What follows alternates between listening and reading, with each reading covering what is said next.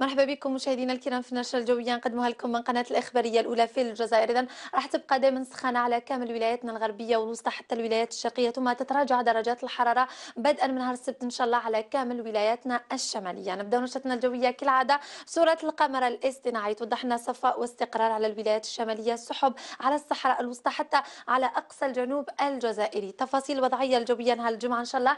نبداوها بحركة الرياح الرياح تقدر تلحق سرعتها 30 كم في الساعة كامل ولاياتنا الساحلية ما تتعداش 20 كم في الساعة على المناطق الداخلية الهضاب العليا والأوراس ونقدر نسجلوا حتى 40 كم في الساعة على الولايات الجنوبية.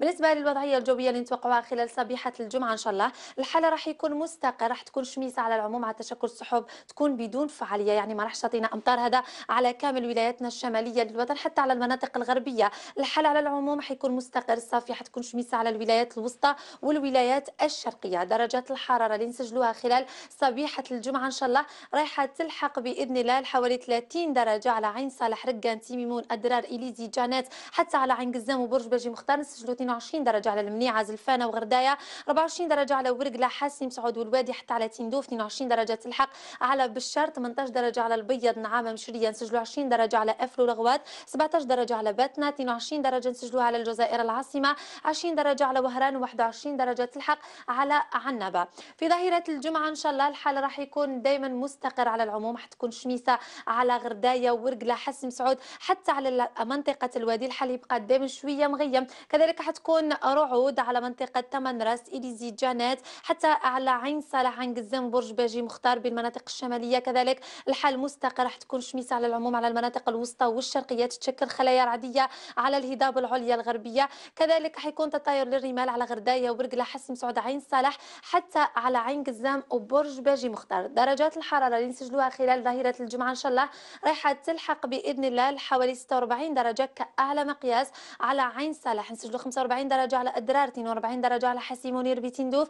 40 درجة على تغيت وتبلبله بالشر تلحق 39 درجة على منطقة غرداية 42 درجة على ورقله وحسي مسعود 43 درجة على إليزي وجانات 34 درجة نسجلوها على بتنا 35 درجة على سطيف وقسنطينة نسجلوا 40 درجة على منطقة تيزي 41 درجة تلحق على شلف 35 درجة على الجزائر العاصمة 33 درجة على منطقة عناب 34 درجة على البيض نعامة ومشرية 31 درجة على وهران. حالة البحر نهار الجمعة إن شاء الله البحر راح يكون قليل الاضطراب على كامل السواحل الوطنية والرياح ما تتعداش سرعتها 30 كم في الساعة. علو الموجة إن شاء الله ما يتعداش المتر والرؤية إن شاء الله راح تكون حسنة على طول الشريط الساحلي. قبل ما نختم نشرتنا الجوية نتوجه بكم اليوم لولاية تيس مسيلة الحال بها خلال الأيامات القليلة الجاية إن شاء الله. راح يكون الحال مستقر راح تكون شميسة مع درجات حرارة دنيا تتراوح ما بين 19 حتى ل 21 درجة خلال الصبيحة وتلحق 38 درجة خلال الظهيرة.